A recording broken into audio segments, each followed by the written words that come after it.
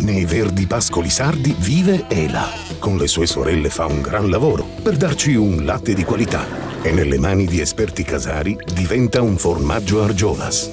Ecco a voi Ela, la nostra star.